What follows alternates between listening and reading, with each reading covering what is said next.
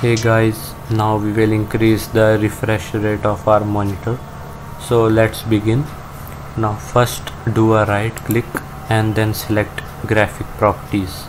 Now it may show something to download so download it and then select basic mode and then click on ok. And now on the right side there's an option refresh rate and then we will click on 60 Hertz and it might be higher in your case so you can select the higher one. And now we will click on apply. And the new settings have been applied and now we will click on ok. So the refresh rate of our monitor has increased.